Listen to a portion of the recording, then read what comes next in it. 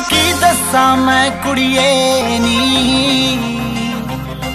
ਤੇਰੇ ਕਰਕੇ ਕਿੰਨੀਆਂ ਕੁੜੀਆਂ